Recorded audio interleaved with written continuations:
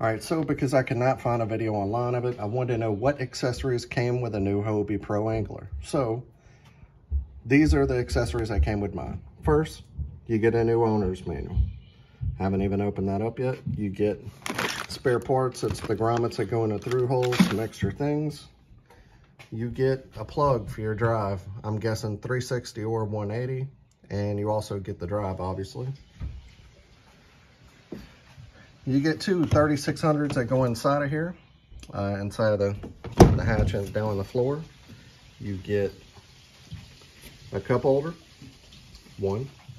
You get two rod stagers, one on both sides.